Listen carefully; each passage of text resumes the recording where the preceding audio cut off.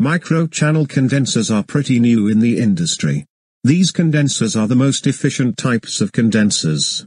Microchannel condensers are made of thin zigzag aluminium fins. These wavy fins are the most distinctive feature of microchannel condensers. Refrigerant flows in between these zigzag or wavy aluminium fins. Let's take a look at a video to see how they work. The major advantage with these condensers is that wavy fins design allows for more surface area for refrigerant to flow through. Microchannel condensers have superior heat transfer. The microchannel condensers are also lighter, small, and require less refrigerant.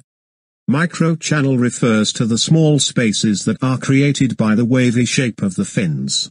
Because of these small and delicate fins, we need to be careful when handling them to avoid damage. We also need to clean them very carefully. Any contaminants stuck in the fins can affect the condenser's performance. When brazing or soldering, be careful to not let shavings fall into the microchannels. In this module, we discussed the different types of condensers.